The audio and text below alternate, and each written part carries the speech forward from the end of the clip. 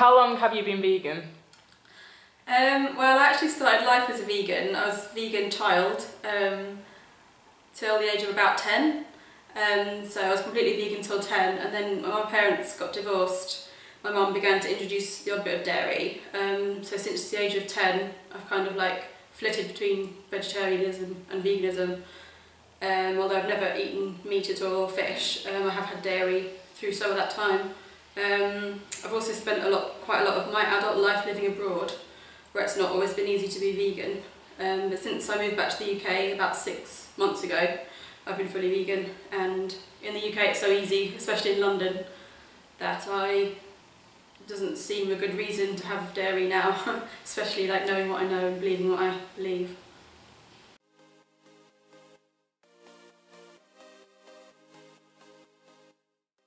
So what was it like growing up as a vegan? Um, well obviously it made me a bit different from the other children. Um, uh, what I was eating wasn't like what they were eating like in school. The things I would take to eat were, um, they would have like ham sandwiches and stuff and I'd have like nuttolene or something like that they'd never seen before or like Sosmix sandwiches or something. They would, uh, they sometimes be like, oh what's that? Like that's weird. Um, but I didn't really mind. I kind of it was just who I was kind of thing. Um, and I used to get taken on quite a lot of animal rights demos as a child as well, and that was what we did at the weekends. And we were in lots of like vegan and vegetarian social groups as a family, and that was good. I enjoyed being part of that.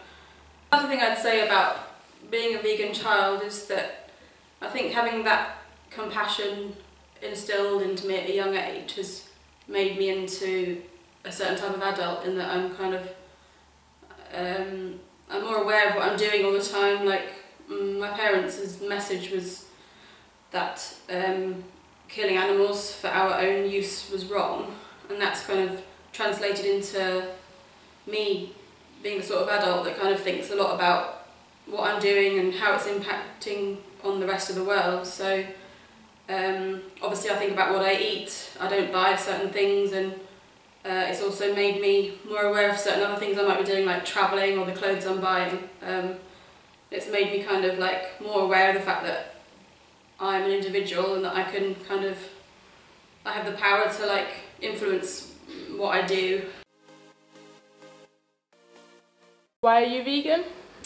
Um, why am I vegan? Um, well, I think with the upbringing I had and uh, things I kind of learned from an early age, and um, what I know about what goes on in dairy farms and uh, how hens are treated and um, all the cruelty that goes on basically like there's no other solution. I've kind of always known that that is the only way I want to be. And although I haven't always been a vegan, like I'd like to say I have been a vegan since I was born and I've never uh, deviated. But the truth is I've kind of had different stages of my life. Um, but now it's the right thing to do for me.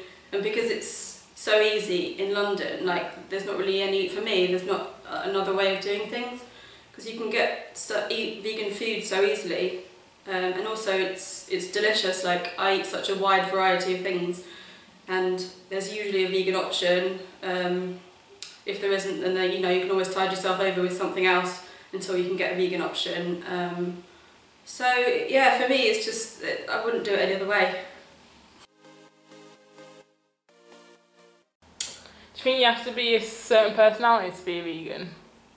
Um, I think to be a vegan you have to have thought about things and not sort of gone blindly into consuming, consuming and like just always eating what you fancy at that moment. Like, because personally I've made the decision that um, I don't want a cow to go through what cows go through in uh, dairy farms. Um, they just don't have a very nice time of it really and uh, I don't want them to go through that just so I can have a cheese sandwich. so I suppose to have come to that decision and thought like, um, I, I don't want to be part of that, you have to have kind of like actually gone through the process of thinking like what is this I'm eating. Um, some people don't ever do that and I think maybe to reach to veganism you have to have gone through that process. So what are your interests in life? Um, what my interests? I like outdoors activities. So my favourite thing is to go off into nature, doing um, whatever it might be. I like rock climbing, I like hiking, uh, I like swimming as well, um, quite sort of sporty, outdoorsy stuff. I also do quite a lot of yoga for the last couple of years. I've discovered yoga and now I really love it. So um, yeah, quite active things generally, outdoorsy.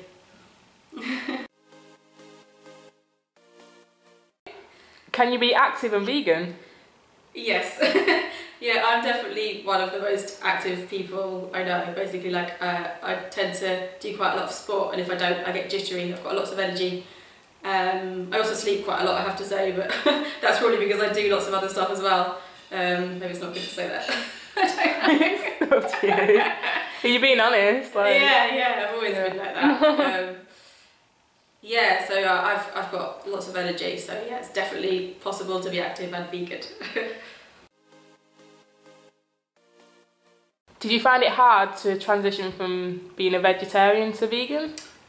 Um, well, for me, it was the natural thing to do because I kind of started not really enjoying milk products so much. I kind of started feeling that my body didn't really particularly want it, and I was introducing more and more vegan stuff as I went along. Um, and in the UK, it's not the same for other countries, like France and Spain where I lived before, it's definitely not as easy, but in the UK you can get so many alternatives, especially now. Um, for every product you can get as a vegetarian eating dairy products, there's a substitute for vegans. Um, there are so many different types of milks available. The cheeses that you get are um, they're obviously not the same, but they can kind of serve the same purpose half the time. Like you can get one that's good for grating on pasta, it kind of like gives you the taste and it melts. Some of them are particularly good for making vegan pizza. Um, you'd honestly be surprised at all the products there are out there for vegans. Um, and I have to say that in the UK, no, it's not. It isn't hard to transition.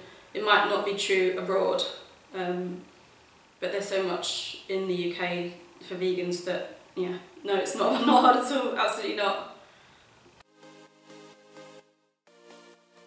Do you have any advice for people that want to go vegan? Um, advice. I would say, um, you know, it's okay to do it gradually. Like, if you're on a really meaty diet and suddenly you're like, I'm going to be vegan, it's probably best not to do it in a day or a week. Um, I'd say the best thing is to do it gradually and like investigate the different ways you might get different things into your diet um, and to um, educate yourself as well on um, the issues so that you're kind of empowered and that you, you're solid with your reasoning. Because um, I would say that obviously I was a vegan child, but that was something that my parents decided. Whereas an, as an adult, I've kind of had to think about um, why I'm vegan and the reasonings have become my own now as opposed to ones that my parents gave to me kind of thing. And I think that's probably why I flitted between veggie and vegan as an adult. Um, so it's good to educate yourself on the reasons you're doing it, um, so that you know you're more likely to stick to it and have conviction behind your reasoning. Also, a practical tip is to always have something in your bag to eat. Like um, I always carry things like nuts around with me or like dried fruit, because then if there's not vegan food available, um, then I can just have a little uh, little nibble, and then I'm, I'm going to be tided over until like that I next eat. I'm never going to be like, you know, pale and hungry because I haven't had enough food. So I always carry stuff around in my bag, it's another little handy tip.